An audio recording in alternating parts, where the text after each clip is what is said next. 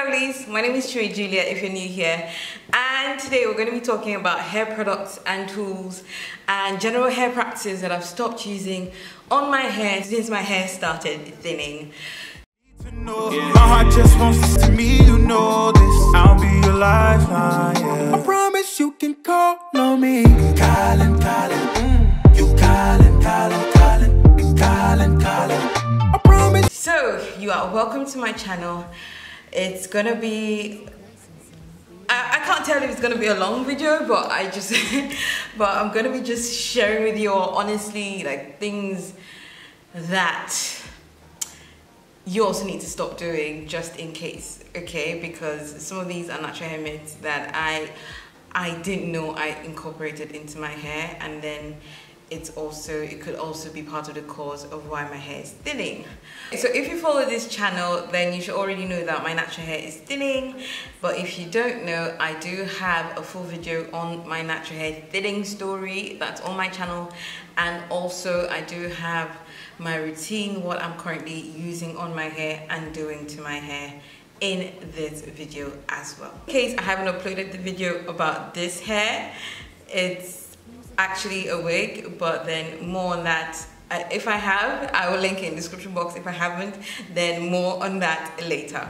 All right, so the first thing I've stopped doing is using this detangling brush. It's like the most popular in the natural hair community. It's got different names and I know it as the Game Changer brush because the brand that first sent it to me you know, titled, it, titled it as the Game Changer brush.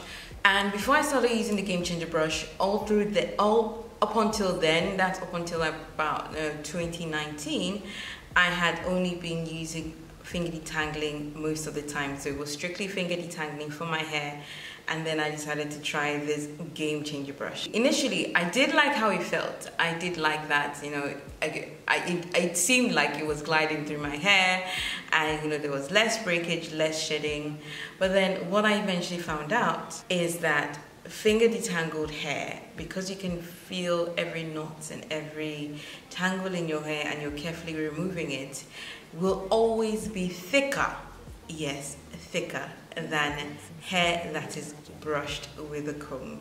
So don't come for me this is just the basic truth that hair that's finger detangled will always be thicker than hair that is combed through or detangled with a brush or a comb. My next point is styling my hair often and as you all know that as a content creator that primarily shares content on natural hair care, my hands are in my hair a lot because I have to make videos every week.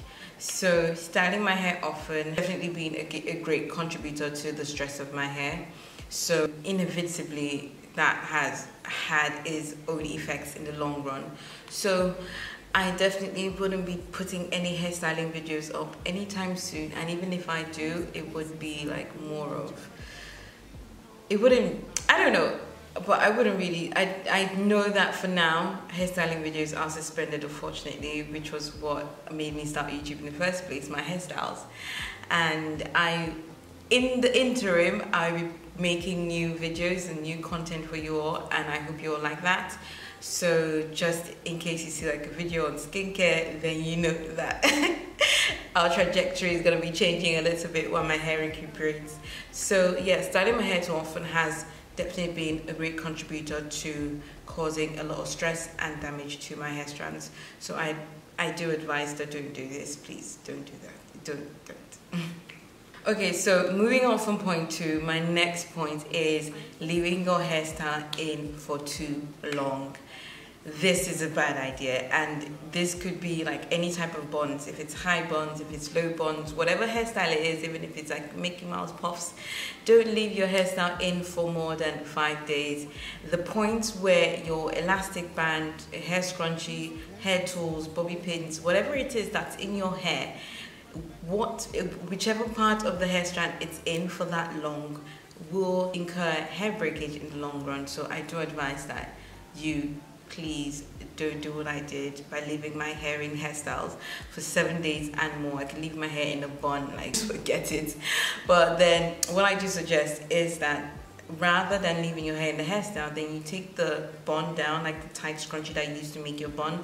I know for you all that like sleek styles, this is really inconvenient, but then if it's just like a bun that you can take down, I do suggest that you take down the hand down or you take the scrunchie down or whatever you used on your hair, you take it out during nighttime and then just wrap your hair with a satin scarf and you'll be fine. So, and you'll be fine. Like you don't have to worry about any parts of your hair getting brittle over time. So that is like an advice for not just me, but for every one of you who might be doing this and not knowing that you're actually damaging your hair in the long run. So my number four tip is dreading wash days and putting it as far off as possible. Now this is by far probably the biggest mistake that I made because when you have, for me, I just felt like I had had my natural hair for about this is my ninth year being natural. I'm going to be 10 years natural next year. So I had my, by five years, I had gotten to like tailbone length and I was satisfied, I was happy I'd reached my hair goals. And I decided to like not care for my hair as much. So I had a basic routine where I wouldn't do as much I used to do before. I wouldn't moisturize daily. I wouldn't put my hair in protective styles. I wouldn't wash my hair regularly. I would probably wash my hair once a month or once in two months. That is bad, okay? That is bad for your hair because our hair thrives in moisture. And unless your hair is regularly, you know, your scalp is regularly cleansed, how can you have a healthy scalp that will help you grow healthy hair?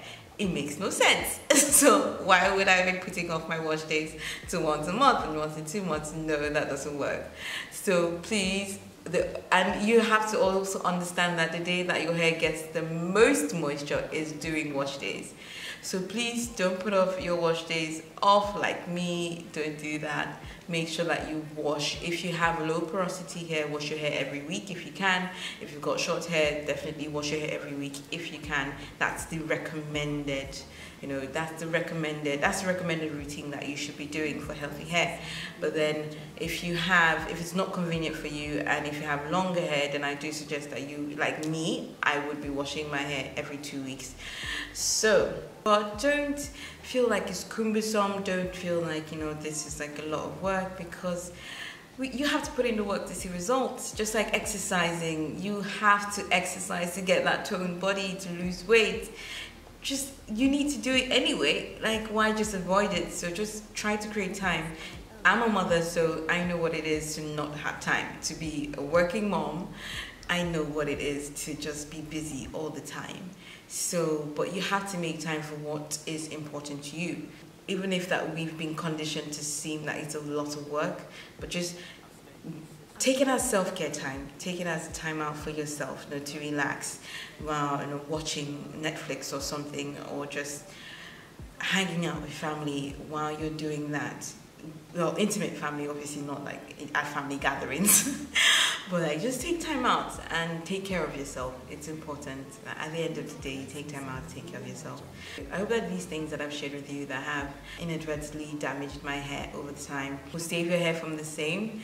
So I am constantly looking out for you guys and I pray the best for you all. So what I wish for myself, I wish for all of you. I hope you're happy. I hope you're blessed.